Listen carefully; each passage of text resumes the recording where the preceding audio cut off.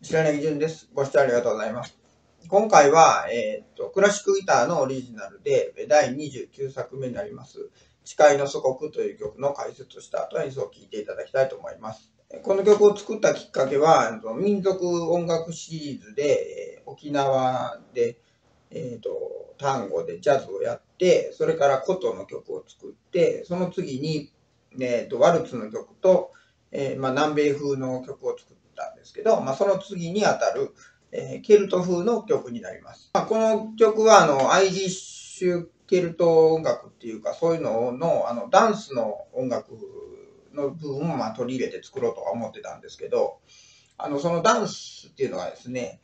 えー、僕の聞いた話なんですけど、その、まあ、アイルランドとかで、えっ、ー、と、イギリスの統治下にあって、軍が見張ってるみたいなところで、まあ、バーとかの酒酒場のこうカウンターの下で、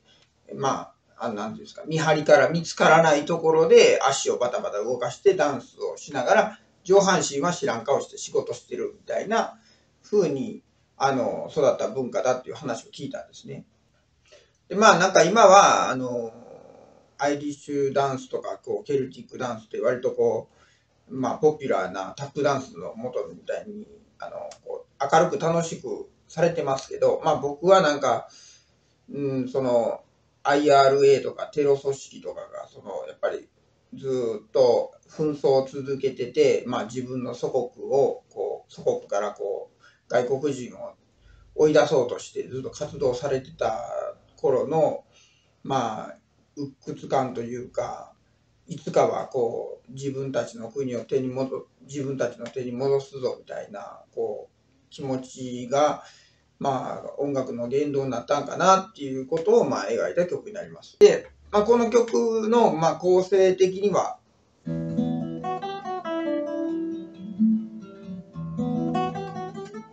まあ、この辺が、こう、なんていうんですかね、あの、平平和な祖国に戻したいというか、自分の描いてる祖国をこう、まあ、今、今そうなってないっていうことに対しての嘆きみたいな部分なんですけど、まあ、ここからこう、ダンスが入入ってて、そのダンスの、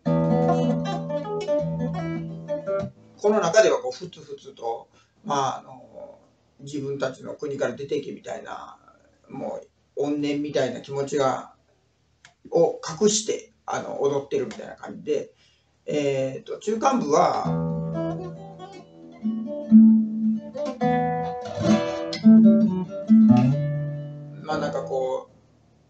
平和だったら自分たちの国のことを思い出してる部分があって、まあもう一回現在、あの、隠れて踊りながらこう、士気を高めているみたいな